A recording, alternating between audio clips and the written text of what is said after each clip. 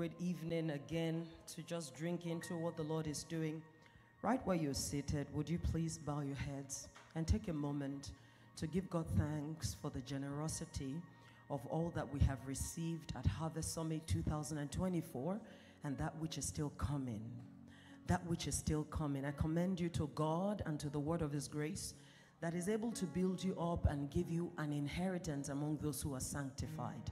Lord, thank you for inheritance distribution. Thank you for tokens and tributes of covenant. Thank you for resources. Thank you for abundant provision. Thank you for revelatory receptacles. Thank you for access point into covenant. Thank you for guided instructions. Thank you for ideas, insights, and inspiration. Bless the Lord for warnings, for reproof, for correction, for commendation, for confirmations, for approvals. Bless the Lord for encouragement in righteousness. Give him praise. Are you blessing the Lord? Are you honoring him for what he has given to us? I want you to take a moment to cry out for the Lord's help that there will be conversion. In the name of Jesus, let there be consecrated conversion, that revelation will become reality that prophecy will become possibilities. In the name of Jesus, that the prophetic will become pragmatic, that the spiritual will become strategic. In the name of Jesus, Father, let there be consecrated conversions of revelation knowledge. Let these weighty waves of wisdom open up new portals of power in our lives. Father, show us the way that we ought to go. Give us specific guidance and Lord, empower us to make quality decisions in destiny. In the name of the Lord Jesus, let these revelatory dimensions flow into our relationships, flow into our resources, flow into our homes, into our health, academics, flow into our businesses, into ministry. In the name of Jesus, we declare that we are strengthened, divinely enabled in righteousness, that we go forward, we advance significantly, and that we ride prosperously in the name of Jesus Christ. Lord, we will profit with your counsel, and you would reap a glorious harvest of the divine seed in our spirits. In Jesus Christ's name, amen and amen. I declare over you, in the name of Jesus, that you are helped. You have the advantage of covenant the things that are produced on the account of God's mercy and grace that forges a person forward in the direction of faith, the propelling effect of the prophetic, the covenant capacity that enables you to rise and to be strong in destiny is at work in your life. You are helped by God. It is noised abroad that God has marvelously helped you. Everywhere you turn, you will be a living proof of what God does with yielded vessels.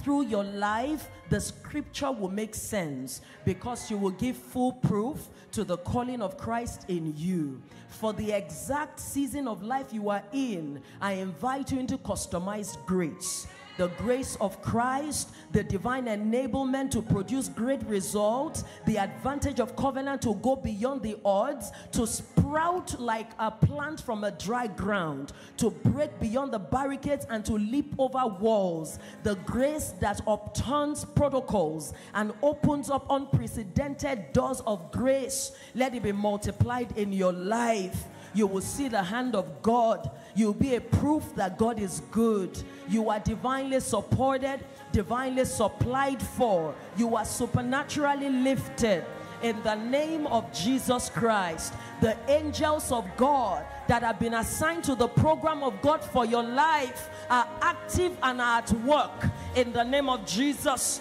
Opportunities are negotiated for you, protocols are broken for you. Quality relationships are opening for you. Counsel is coming to you. An advantage is opening up for you. The word of God is breaking open in your spirit and it is becoming master plans and roadmaps that give you clear guidance into the specific steps you must take. Your journey will not be lonely. In the name of Jesus, you are separated from the choices that don't honor the will of God in your life. You are coming into attunement, alignment, and assignment. You are the very center of God's holy perfection. Enter into divine possibilities. authored by advantage of the covenant. Let the redemptive benefits of Jesus Christ by the substitutionary sacrifice of the cross matter and make meaning in your life offering you an access point into prophetic outcomes that could have never been created by your mere ability. The kindness of God, the tender mercies of Yahweh, and his gentleness will make you great over and above your natural lineage. Enter into the advantage of belonging to a calling in Christ. You are covered and defended. You will not die but live declare the goodness of God in the land of the living. Your joy will increase. You are provided for. You are defended, delivered, protected, promoted.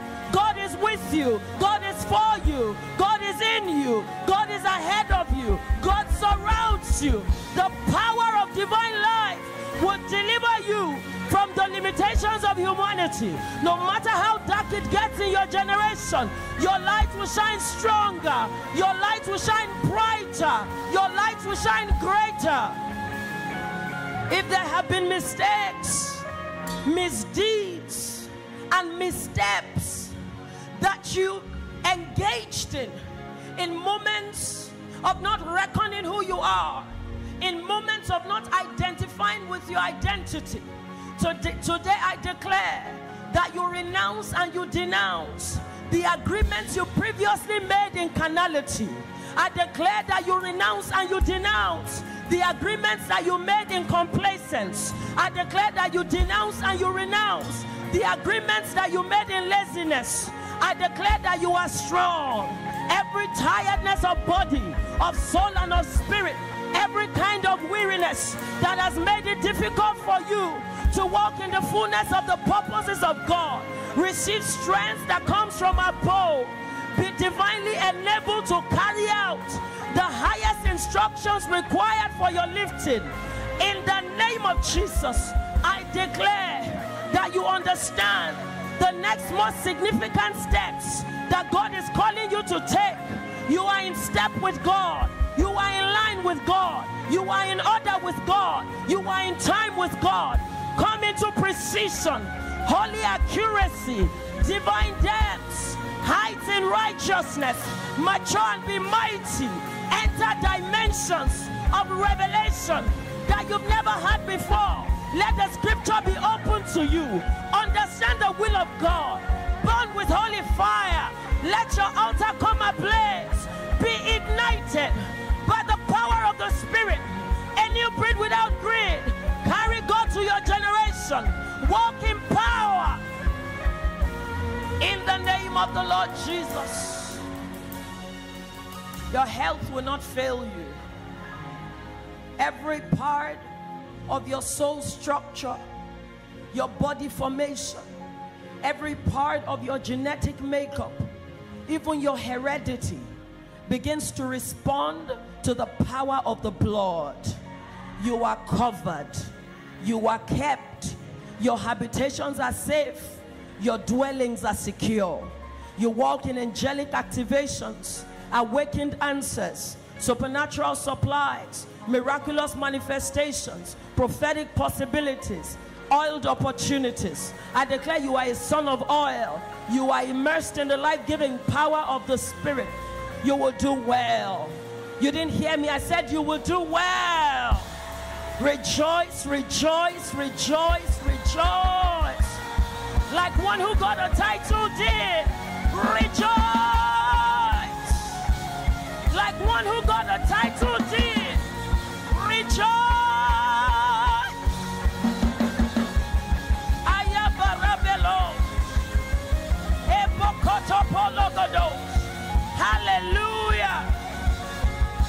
Glory to Jesus Christ.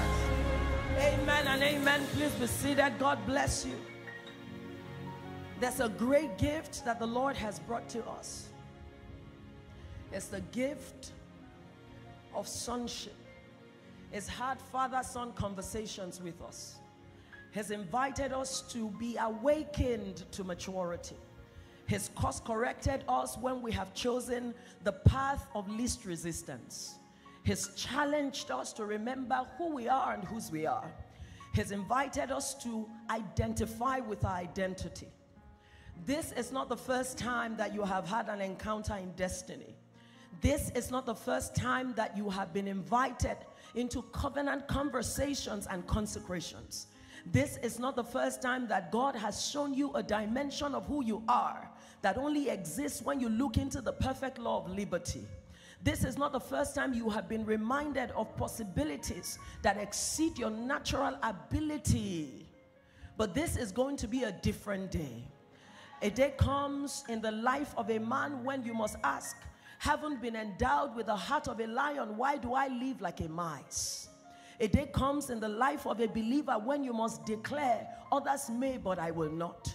A day comes when you reckon and you cry out to God, Father, if there's anything you are doing in my generation, don't do it without me. That day is the day of the Lord. For you, the day of the Lord has come. Harvest Summit has become the day of the Lord for you. And in the name of Jesus, as you go to war and you go to work with the resources that has been judiciously distributed in this summit, God will reap a great reward on your life you will be fruitful and your profiting will appear to men. In the name of Jesus Christ, from the moment you start to unpack the considerations of diligence as a believer, you are making a commitment to go far. One of the reasons that we always stay at the level of complacence, the level of comfort, or the level of carnality is when we do not accord a recognition of the requirements that it will cost us to walk in destiny. It will cost you something. The only thing is you have to choose your heart. It's either you go deep in God in the lifestyles of consecration, holiness, purity, a passion for the word, you know, an investment in the lifestyle of, of, prayer, a kind of heart, but that has great benefits, or ultimately people get derailed to the other side of complacence. In the beginning, it looks like freedom, but ultimately it becomes a kind of tyranny. And the invitation we have received from the Lord is to transition soils so that the good seed can produce a good harvest in the name of the Lord Jesus Christ. And if you find yourself asking the question, DDK, what manner of commitments must I make coming out of Harvest 2024, Harvest Summit 2024? So that it can matter in my life that I had an encounter with the Lord. What kind of changes must I make in my thinking and in the way that I organize my life structure so that I can emerge on the other side of maturity, phase by phase and season after season, a son in whom God is well placed? The first conversation naturally and supernaturally takes us into the requirement of a lifestyle of prayer. Beloved, more than ever before, there is a pressing urgency in the spirit concerning the body of Christ, especially in Nigeria today, that we must shift our focus from the fanciful and we must step into new, uh, new dimensions of rigor in the pursuit of the things of the spirit. God is calling us to prayer. There was a man by the name Jabez Scripture described him as a man who was more honorable than his brothers. By destiny, he had a great calling and he was set apart for a holy and a mighty mission on the earth. But on the account of the circumstances of his birth, environmental situations, and past mistakes, events that had occurred in his growing up years, he had obtained a new identity that was different from who he truly was in Christ. And is this not the, who he truly was by destiny? And is this not the case for many believers? We start start off on the wrong footing. We didn't get born again from our mother's womb. We acquired a taste for the things of the flesh. We had an appetite for things that don't honor the true identity and the original essence of our becoming in Christ. But a season comes in your life where you, like Jabez, begin to cry out that you have to enlarge my territory. You have to change my story. He said, Bless me indeed. He said, Place your hands on me and bless me so that I would no longer cause harm. A lifestyle of prayer. Jesus Christ, God the Son, came for a mission on the earth. He lived his entire years on earth just to die so that he can be given over in substitutionary sacrifice that the just requirement of God the Father will be fulfilled on the behalf of humanity. And when he came to the most crucial moment of his life's purpose he said, I wish that this cup will pass me over. It truly means that when it concerns the matter of our divine calling, when it concerns the matter of our becoming, it's going to be tough, it's going to be uncomfortable. There might be difficult decisions that you have to make so that the, the, the investment of God in your life can mature. It will not always be rosy. But it is only a man or a woman of prayer that is able to press through the difficulty that is associated with a life of purpose to come out on the other side. But we do have help by the Spirit. Hallelujah. I said we do have help by the Spirit. The scripture says that the Holy Spirit prays for us with groanings that cannot be uttered with mortal words according to the will of God.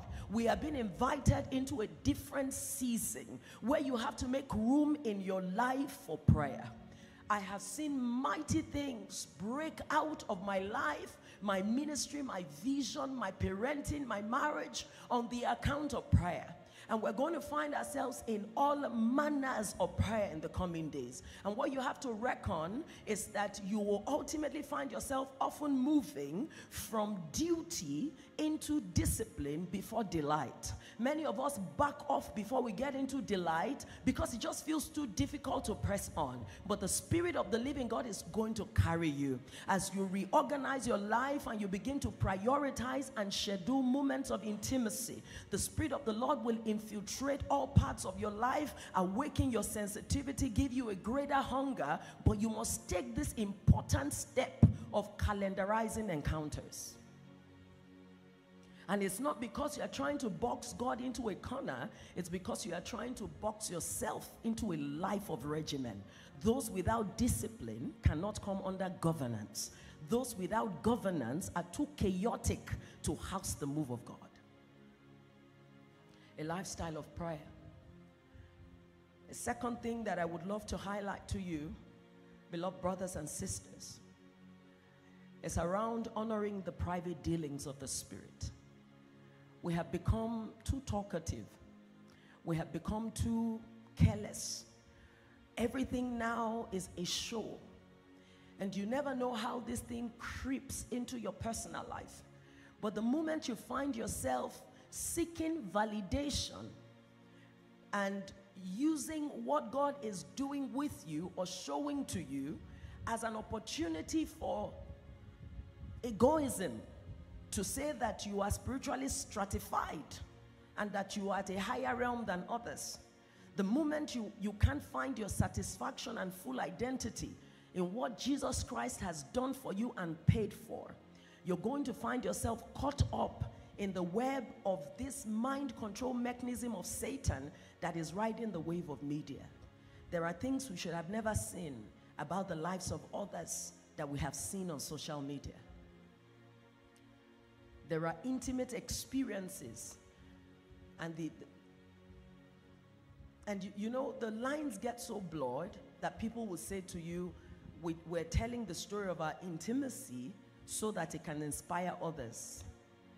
We are not the PR officers of the Spirit of God.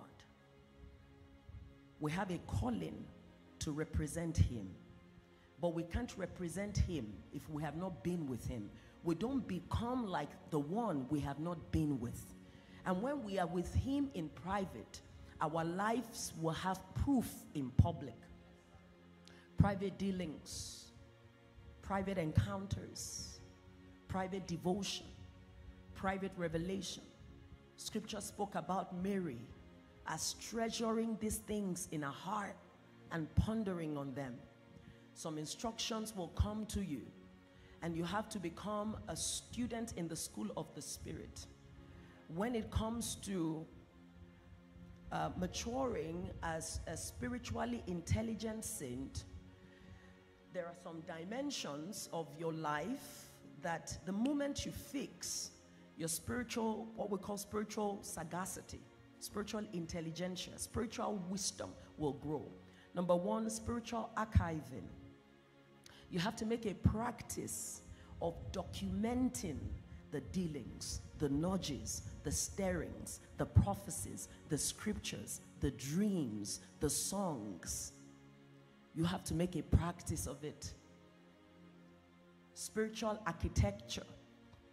You begin to ask, based on who God says I am, how, how should I organize my life? How should I organize my business?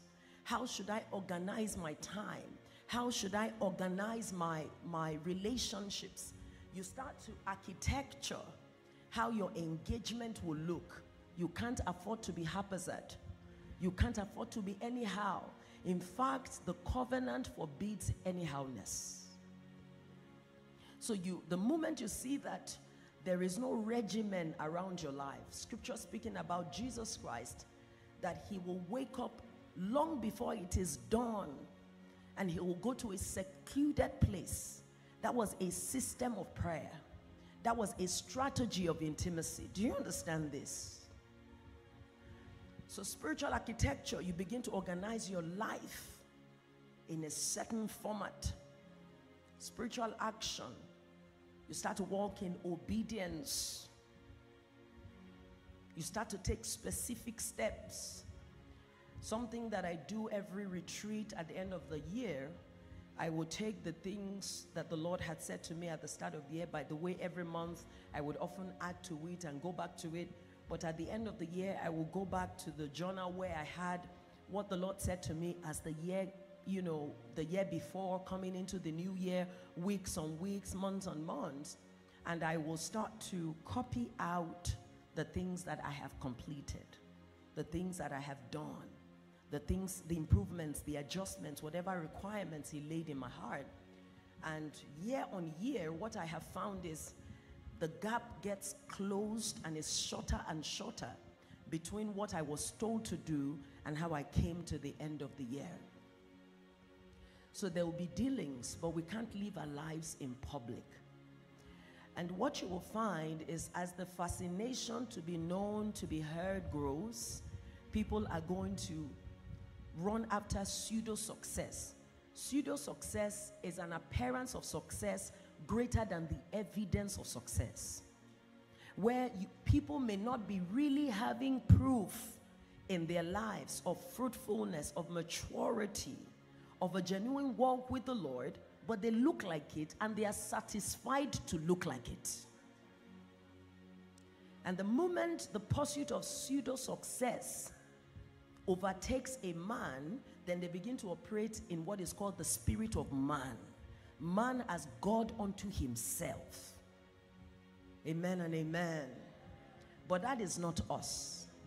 That is not us.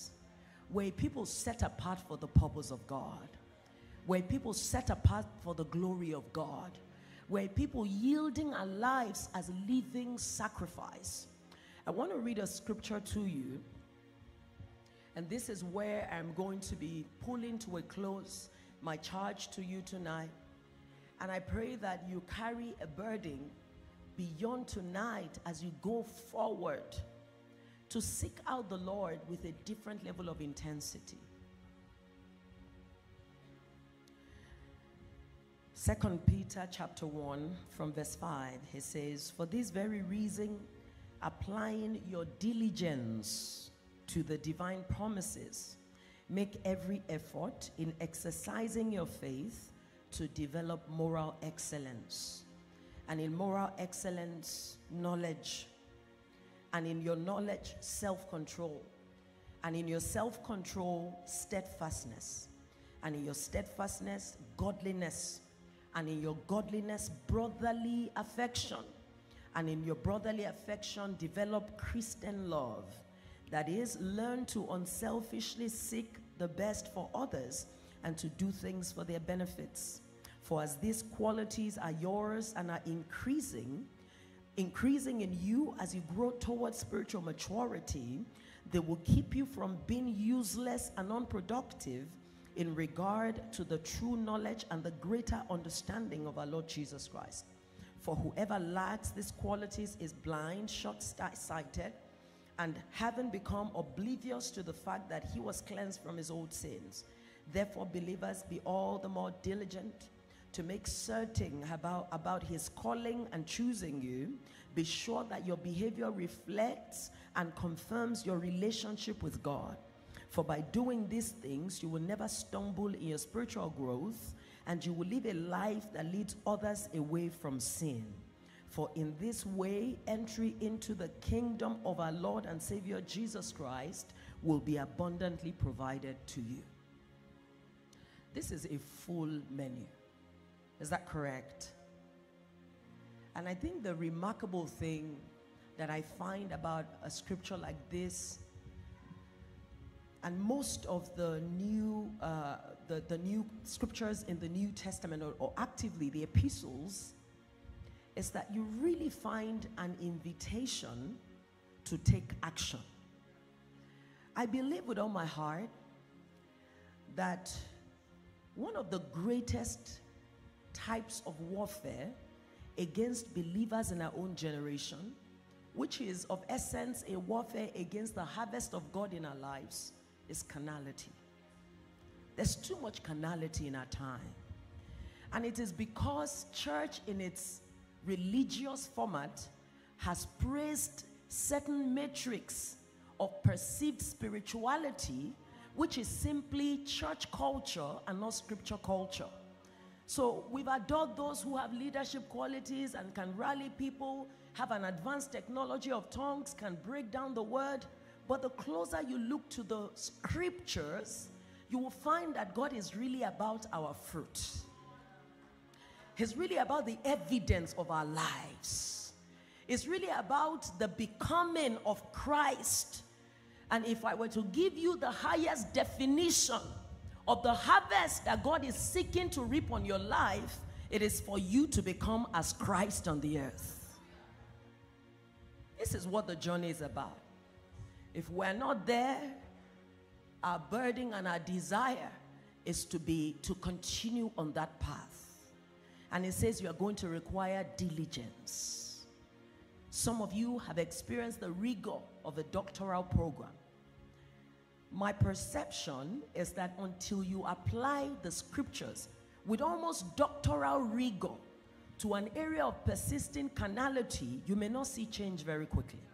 There's a reason the scripture said, seeing that we are surrounded with such a great cloud of witness, let us lay aside every weight and the sin that doth so easily besets us.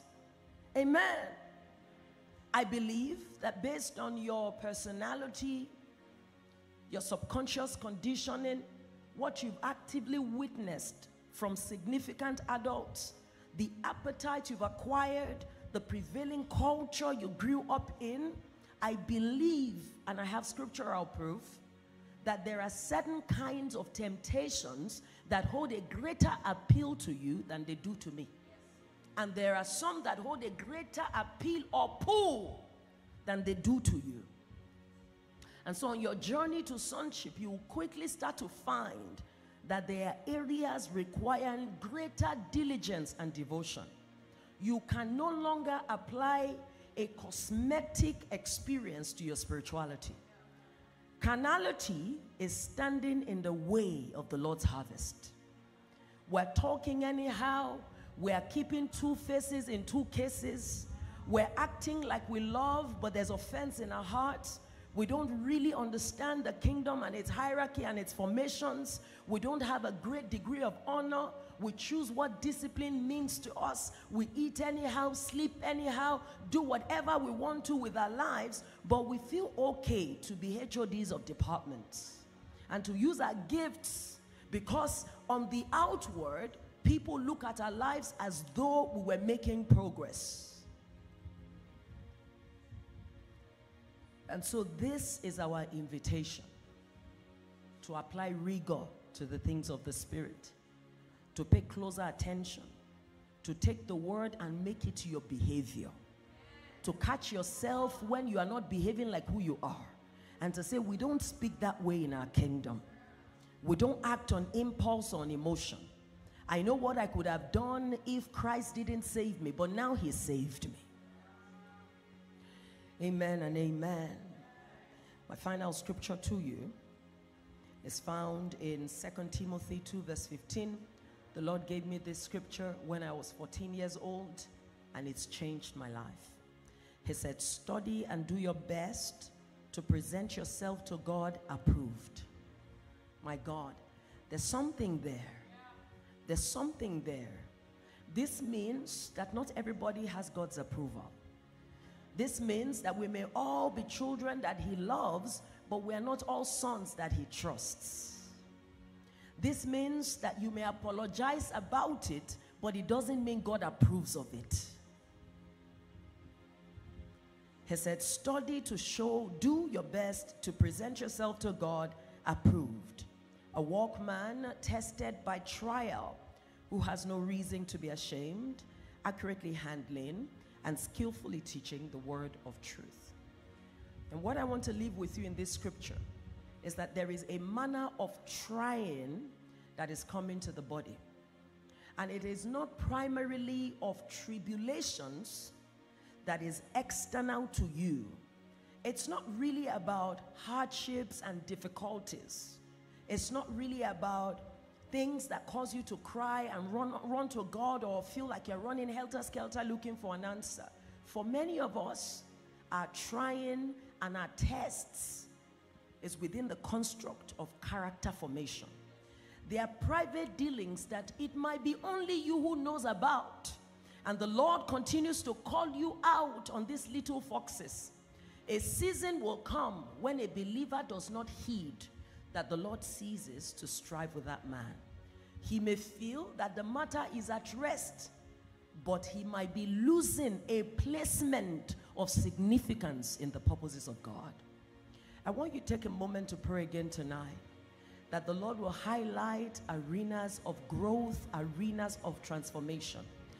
That you will be corrected where he, he seeks to correct you, and that grace will be multiplied. Grace will be multiplied. Take a moment to pray tonight.